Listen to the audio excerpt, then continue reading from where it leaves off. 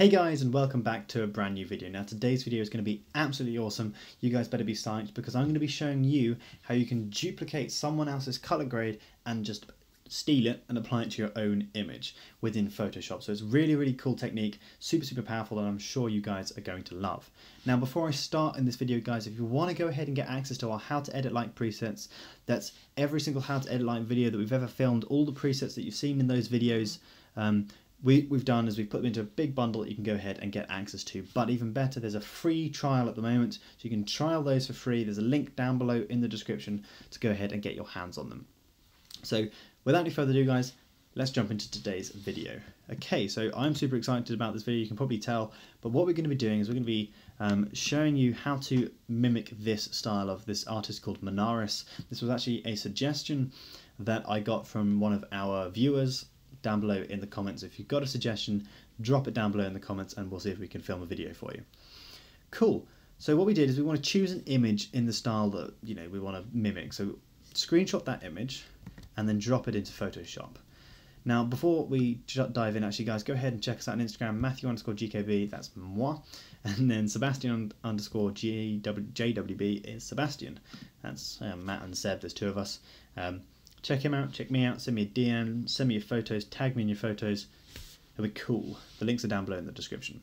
Okay, so get your photo here that you want to essentially mimic or copy, um, and then you want to drag it into Photoshop. So here we are in Photoshop. Then you want to go ahead and get your own photo, and you want to drop that into Photoshop as well. Now, what we're going to be doing is essentially moving across the color palette from the first image and applying it to the second image. So the way we're going to want to do that um, is, well actually I'll get to that in a second, but the first thing is I want you to go ahead and do some minor adjustments to this photo. So the first thing is make sure your highlights, midtones and shadows are at the like, kind of correct level. So here this image is very dark, highlights have been absolutely crushed, um, and the shadows there are really, really quite dark. So what I've done is I've taken it into Lightroom and I've done the same thing, crushed the, the blacks, taken down the highlights, and the midtones obviously uh, fairly okay. So make sure the exposure of your image is fairly similar to their image because otherwise um, it's not going to look, the colours will be right, but the photo won't match, if you know what I mean. Um, make sure the contrast is correct. Cool, so once you've done that, come back onto your photo here that you've sampled, come up to File, Export, Save for Web Legacy, you're going to get this really funky looking like graphs and God knows what else up here. But we're going to ignore all of this and you're going to want to come to colors and then just type in 10. Select 10 colors from this entire image and you can see here it's going to give you a nice color palette of 10. Now you can choose more if you want, 20, um, but you're going to see they're all looking very, very similar. So just choose 10 to start off with. Come down to your color palette menu, and then save color table and then save it in a cool destination or not cool but a destination though you know. So I've saved mine to my desktop now. Um, so once you've saved it to your desktop you can just click cancel. You don't need that anymore. And then just come onto this image here.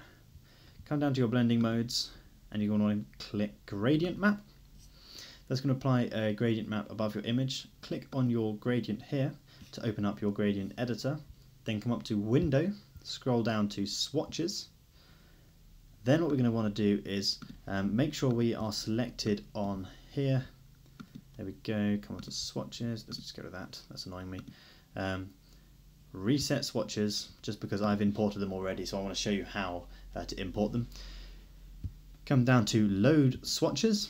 Now you're going to want to navigate to the place where you saved your color table beforehand. So here's my folder color table. I'm going to want to choose the color palette that I saved. Click open. It's going to load them in. You can see from here to here is the ones that it's just loaded into my color palette. Now here's the fun part.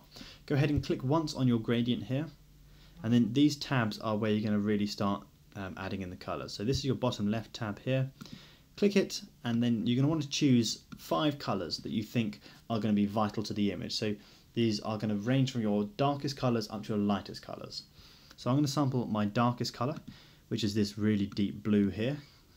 And take a note of this level here. So the brightness here. So that's 11%. And we're going to want to type that brightness into our location. So it's going to put it here, right, 11% across our slider. Next up, we're going to click our second little palette here and then click on color, sample another color. So we've done this one. Let's choose our brightest one, which is this one over here. So this will be our highlights now. So brightness is 51%. So you can see that's our brightest color.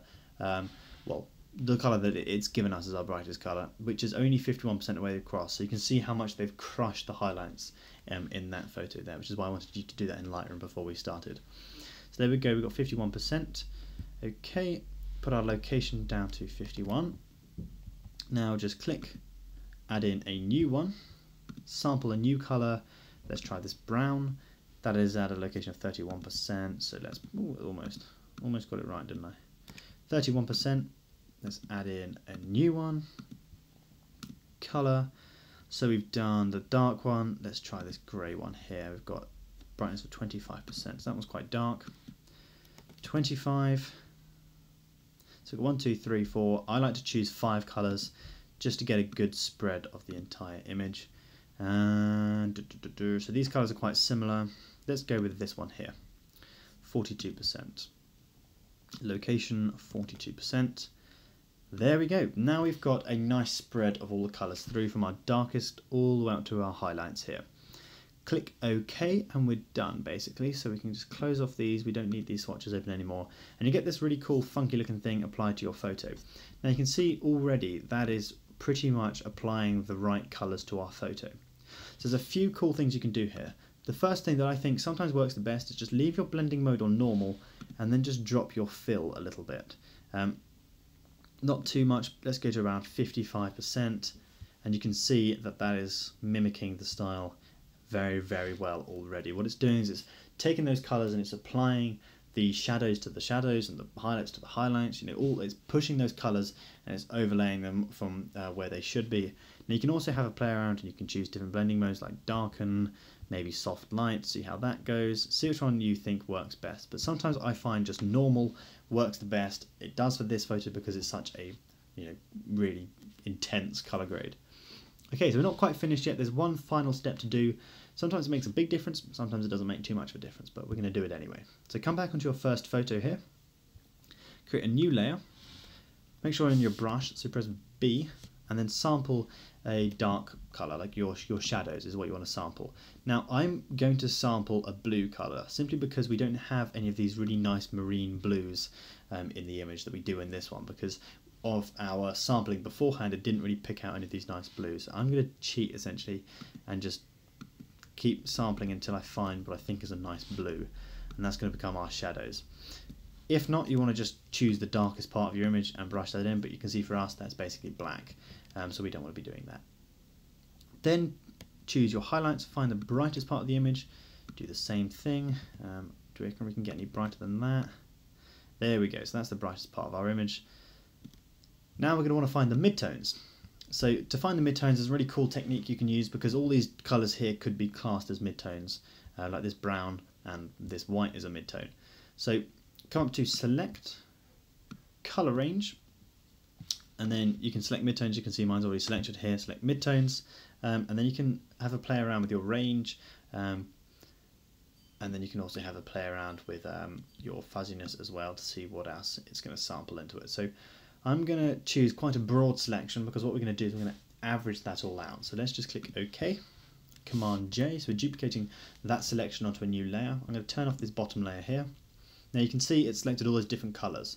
Now to get an average of those we can just come up to Filter, Blur, and then just simply select Average. And already what it's done is it's just taken an average of all those colours um, so we can go ahead and sample just any point on there and that'll be our uh, midtones. So let's just brush that in there. So there we go, we've got our shadows, midtones and our highlights. And we can just delete that, we don't need that anymore. Cool, so let's duplicate, so you can see like those those three color palettes are really really useful to apply to the image and we've got this nice terracotta color um, that's applied to the to the walls here as well because of our previous um, color table that we used.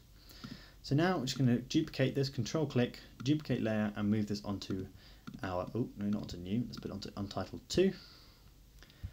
Boom, there it is, sitting re like ready waiting for us to go. So now we're going to apply these colours essentially to our curves. So you see what I mean, come down to blending options, select curves, then you've got your three colour pickers here. So you've got your black, you've got your greys and you've got your whites. So what I'm going to do is I'm just going to turn off our bottom layer here and I'm going to select our, this is our black point, select our colour here, which is the blue. And then what I'm going to want to do is I'm going to want to select a region of this image that is that dark, like the shadows. So I'm going to select this region down here. And what it's going to do is it's going to apply that colour to that area of the shadows. You can choose different areas to see which one works better. So I think that might actually work a little bit better for us. Um, let's get it there. Okay, there we go. So we've got now the blues in the shadows there, which is really kind of what we were going for. Then get your greys and you're going to want to essentially select this midtone here, which is your grey point. So once that's selected, you want to come onto your curves here um, and you're going to want to apply it to a grey part of your image. So any part of your image that you think should be grey, um, have a go at applying that on and seeing uh, which one looks best. So there we go, I think that's good. Um, we're applying this grey and it's going to give us this nice green tone to the image which I think matches quite well with this one here. Cool, and then finally do the same with your highlights. Ooh, let's turn that off. Let's just make sure we click the uh, this one here, and then apply it to our highlights, or maybe to the white building here. Ooh, I don't know. I think I've done that wrong there. Let's just. Oh dear.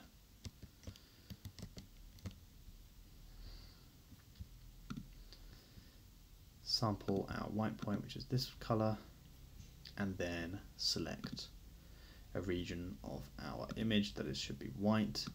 Um, da, da, da. So this is just making the image a little bit too blown out, which is a little bit of a problem at the moment because that's not really ideal. That's not really what I was wanting to go for. So um, let's just press Command Z and start again. Okay, so that's okay, but what we can do now is we can essentially just uh, take our highlights here and then just bring those down a little bit because it's essentially just applied that a little bit too strongly in the highlights which is not what I wanted to do. Okay, so then we can just close that off um, and get rid of our colours there. Now, as I said there, we've crushed our blacks a little bit too much and we've kind of brightened up our whites a little bit. So we can bring up our shadows there. Um, we can bring back the detail in our highlights a little bit just by bringing that down.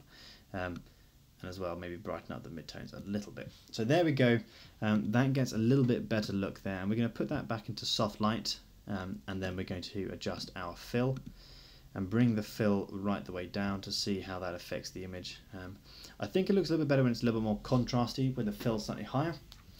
Uh, you can try different blending options like overlay for example, that might give a cooler effect but I think soft light's working quite well. Okay, so there we go guys, you can see already, um, let's just remove that, we don't need that you can see how that is applied essentially the same color grade to this photo um, just to duplicate someone else's color grade onto your photo. So hopefully you've learned a little bit there and you've got some really cool um, techniques that you can go ahead and use. Now as you can see it's not an identical like color grade but it does give you a very very good um, you know interpretation and it should match their look very very well. Now like I said um, what I would prefer to do is do a basic color grade within uh, Photoshop to, or Lightroom or Photoshop to start with um, before I go ahead and do anything. But what I'm going to do now is I am just going to do a cheeky three point curve just because I think our shadows are a little bit too dark and I'm going to add in that tiny bit of fade um, that I was talking about earlier, brighten up those shadows and I think we're going to bring down those highlights there because we've really got, um, whoa that went weird, a um, little bit too much on the highlights. Okay, there we go, that's alright, just crush those highlights. So now that's just going to apply it and brighten it up a little bit. And it looks a, little, um, a lot better.